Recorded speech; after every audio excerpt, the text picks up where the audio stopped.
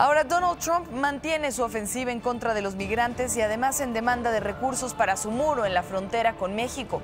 En una reunión con simpatizantes en Virginia, Trump revivió el pasaje de cuando iniciaba su campaña y en donde se refirió a los migrantes mexicanos como violadores y la polémica que se levantó.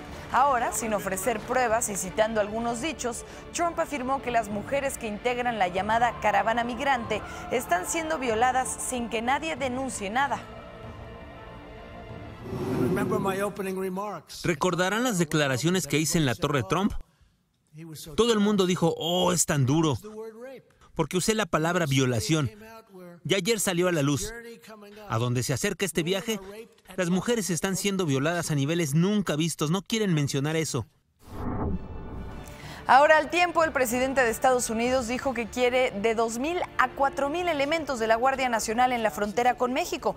Trump señaló que probablemente va a mantener a los efectivos de la Guardia Nacional apostados en la frontera de 3.200 kilómetros con México hasta que se complete la construcción del muro que prometió para detener la inmigración ilegal.